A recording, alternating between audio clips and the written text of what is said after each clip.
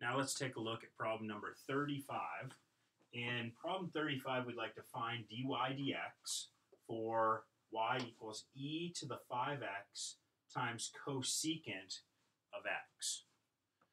All right, so uh, first and foremost, what I look at it, and when I see this problem, I see I've got a function, e to the 5x, times another function, cosecant of x.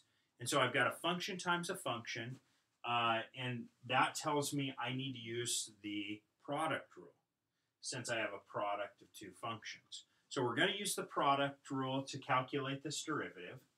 Uh, so when I start taking this derivative, dy over dx, then I know I'm going to start by taking the first function and leaving it alone. So I'll write e to the 5x multiplied by the derivative of the second function. So what is the derivative of cosecant of x? So the derivative of cosecant of x is negative cosecant x cotangent x. Then we want to add on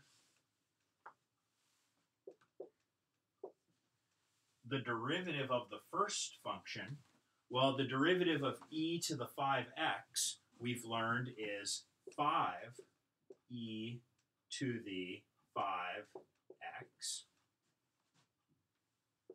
times the second function left alone, which is cosecant of x.